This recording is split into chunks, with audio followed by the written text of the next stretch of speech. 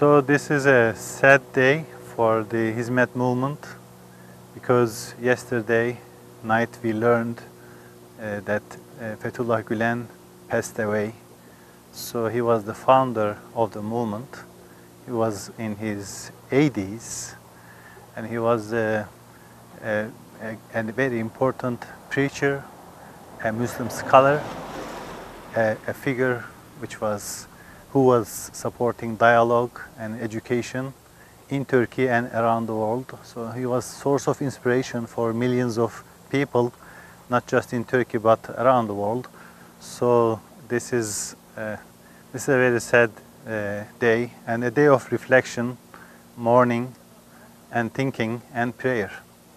He deserves, with his initiatives in education, interfaith dialogue, activities and uh, charity, all those things are good things. And I, I was thinking that he would be rewarded by Turkish people uh, with highest honors. So I am so sad that he passed away without seeing that appreciation.